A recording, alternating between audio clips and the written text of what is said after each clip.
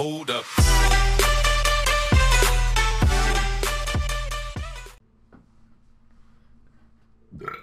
And there goes the jet engine. Oh, oh, let's see what we can see what we can do. Hmm, this guy behind us. Oh, got behind us.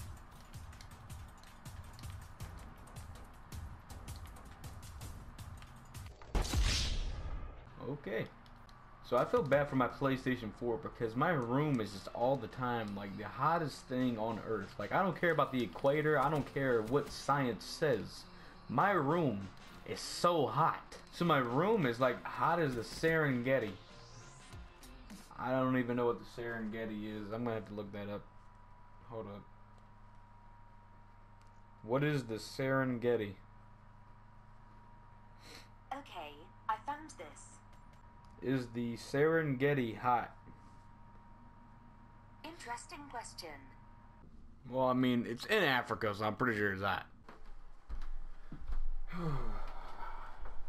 Just murdered an insect. I don't know about all you guys, but when I was younger, or you know, in my maybe eight years old, nine year old, around that age, whatever, I was into, you know, bugs and you know, dinosaurs and stuff like that. I guess I was just being a boy. I don't know, you know, I know that some of my friends back then were into that kind of stuff. I, I, I don't know. Maybe I'm just, maybe it just sound weird. But, you know, my love for bugs and everything all changed one day. So it was just this bug, right? It was very distinctive. It had like, it was basically all black and then had like one orange streak down at the back, right? I remember it like it was yesterday.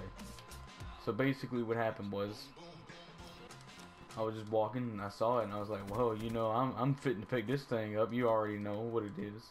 So I go to pick him up, right? And that that's where it all happened.